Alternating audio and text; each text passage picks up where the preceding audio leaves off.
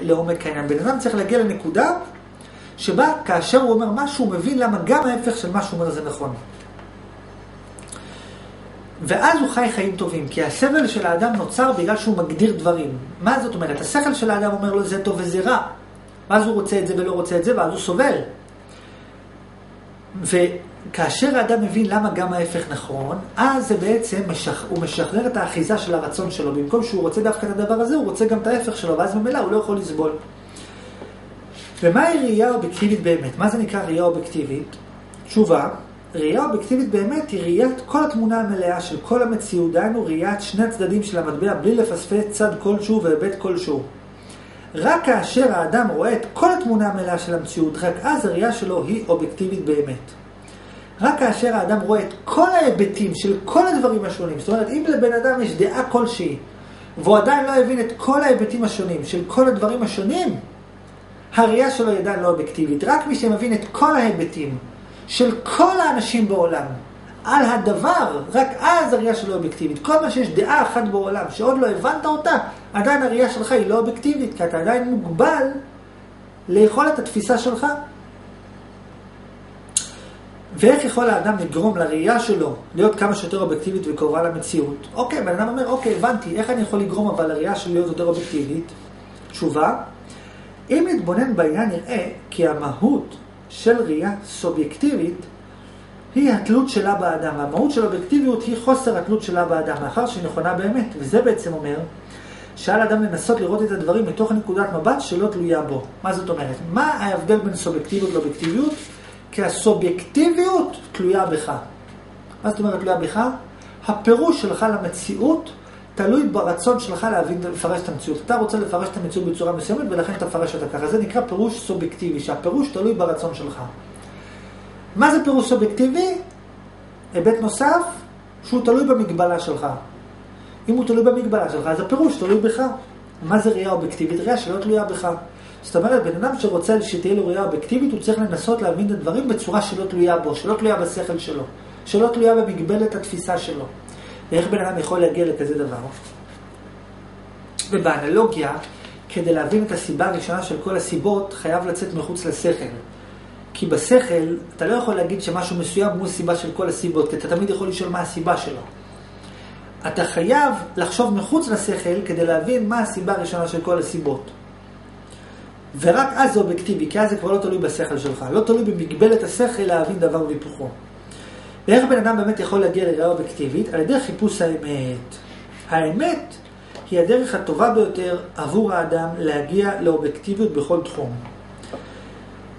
ואם נתבונן בעניין נראה כי הדבר היחיד בעולם שקיומו לא תלוי בשום צורה באדם זאת האמת. האמת עצמה קיימת גם אם כל עולם יתכחשו לקיומה וכל המהות שלו, וכל, גם אם כל עולם יתכחשו לקיומה. וכל המהות של אובייקטיביות היא שהיא אמיתית ולא תלויה בנקודת המבט של העולם. כל ה... מה הדבר היחיד שלא תלוי באדם? האמת האובייקטיבית. האמת האובייקטיבית לא תלויה באדם. לא תלויה בו בשום צורה. האמת קיימת בכל מקרה. בכל מקרה קיימת. האם מישהו ברא את העולם? יש לזה תשובה אמיתית מוחלטת שלא תלויה במה שהבן אדם יכול להגיד. הבן אדם עד מחר יכול להגיד שאלוהים ברא את העולם, ועד מחר יכול להגיד שהעולם נברא מעצמו. מה שבא לו יכול להגיד, אבל האמת היא אחת, והיא לא תשתנה. יכול להיות שאי אפשר לדעת אותה, יכול להיות שלעולם לא נדע אותה.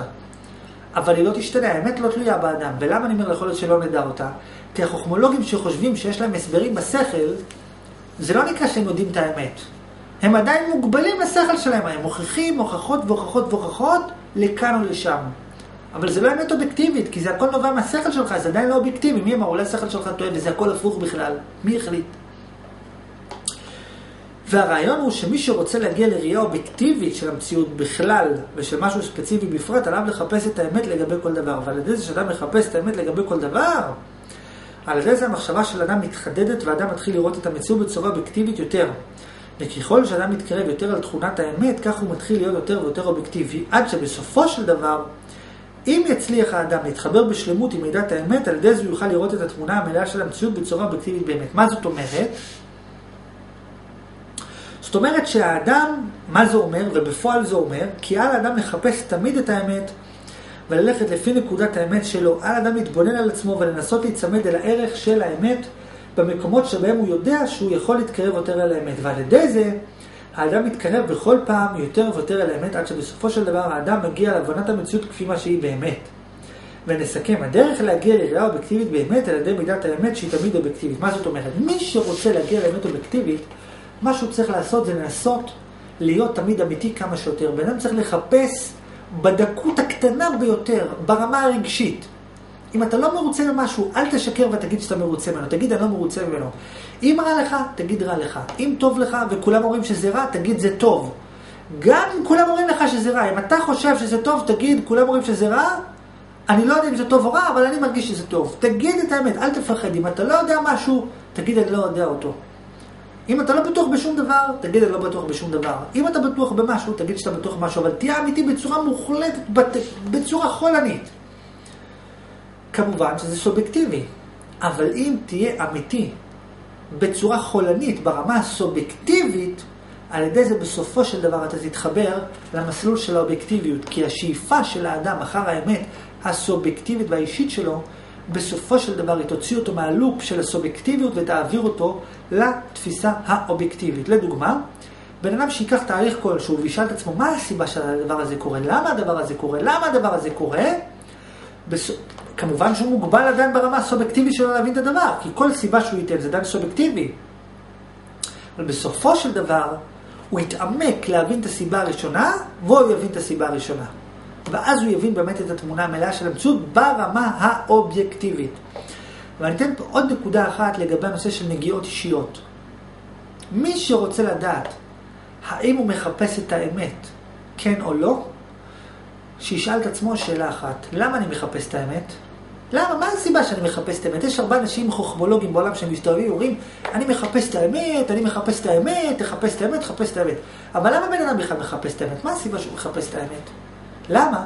כל אותם חוכמולוגים שאומרים שהם מחפשים את האמת, והם יוכיחו לך מה האמת, ואני אוכיח לך מה האמת, למה בכלל הם מחפשים את האמת?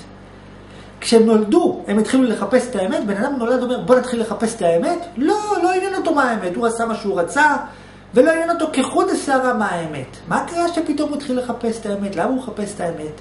כי היה לו רע, כי היה לו חוסר משמעות בחיים, כי הוא לא הרגיש טוב, כי לא היה לו מושג למה הוא חי, כי לא היה לו מושג למה יש רע בעולם, וכולי וכולי וכולי. ואז הוא אמר, בוא נחפש את האמת. אבל למה הוא חיפש את האמת? כי הוא רצה להרגיש טוב, כי הוא חיפש משמעות. ומה זה אומר? האם הוא חיפש את האמת? הוא אמר שהוא חיפש את האמת, נחמד מאוד שהוא אמר שהוא חיפש את האמת, נכון שהוא עשה תהליך של חיפוש אמת, אבל האם הוא באמת חיפש את האמת? לא.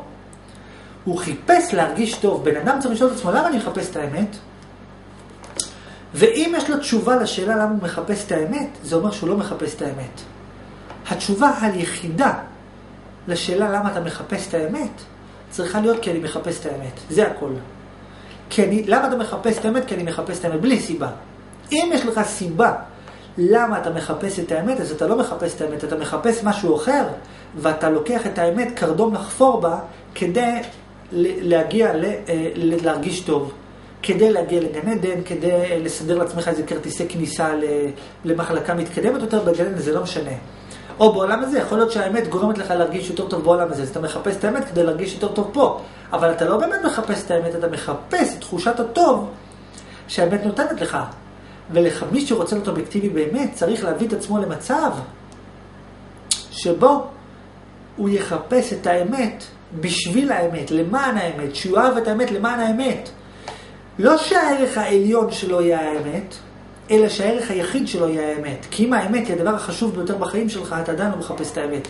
מי שהאמת, כל אחד שיקח רשימה של הדברים החשובים לו ביותר בחיים. אם האמת עומדת בראש הרשימה, הוא לא באמת מחפש את האמת. למה? כי יש לו ברשימה עוד דברים. כאשר יש לך עוד שיקולים ברשימה, גם אם הם נמצאים במקום המאה, גם אם הם תופסים לך 0.0001%, אתה עדיין לא איש אמיתי. איש אמיתי באמת זה מישהו שהשיקול היחיד שלו בחיים זה האמת או לא. מה האמת? העולם הזה הוא טוב או רע. בלי להניח הנחות שטוב דרכו לעתים, בלי הנחות. מי החליט את זה? מי החליט שאלוהים הוא טוב? אולי אלוהים הוא רע שרוצה לעשות רע. מי החליט את זה? מי החליט שמישהו ברא? אולי הכל אקראי לגמרי. מי החליט שהאקראיות זה ללא סיבה? אולי מה שנקרא אקראיות זה בכלל עם סיבה ואנחנו רק לא מבינים את זה, ובכלל כן יש אלוהים. מי החליט את זה? בן אדם צריך לחפש את האמת כדי לחפש את האמת. וכל זמן שיש עוד דבר אחד בעולם שמעניין אותו חוץ מהאמת, אז הוא שקרן. הוא משתמש באמת כדי לשרת את שאר האינטרסים שלו. ואיך בן אדם יגיע לרמת אמת כזאת? קודם כל על ידי שלא ישקר ויגיד שהוא מחפש את האמת. תפסיק לשקר, אנשים שקרנים. רואים שמחפשים את האמת, תפסיק להגיד שאתה מחפש את האמת. אתה מחפש להרגיש יותר טוב, מה אכפת לך מה האמת? מה זה לך בכלל מה האמת? אתה רוצה לסדר לעצמך כרטיסי כניסה לגן עדן. אתה רוצה להרגיש יותר טוב פה. מה זה לך בכלל מה האמת? מה קשור אליך והאמת? אתה אכפת לך מה האמת? אתה אכפת לך מה הדמיונות שלך.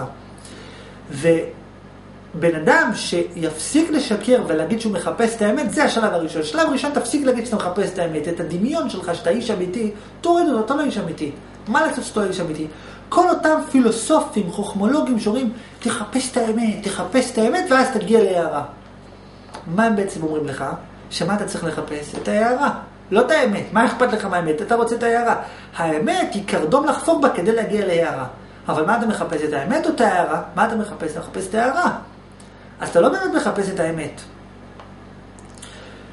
והבן אדם צריך לחפש את האמת למען האמת.